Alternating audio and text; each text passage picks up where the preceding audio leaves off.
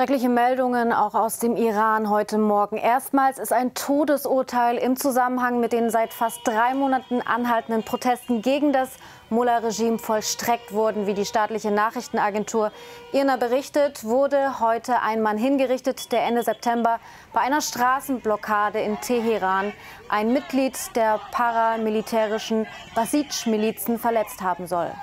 Ein bitterer Rückschlag für alle Hoffnungen auf Veränderungen im Iran, die ja zuletzt aufgekommen waren.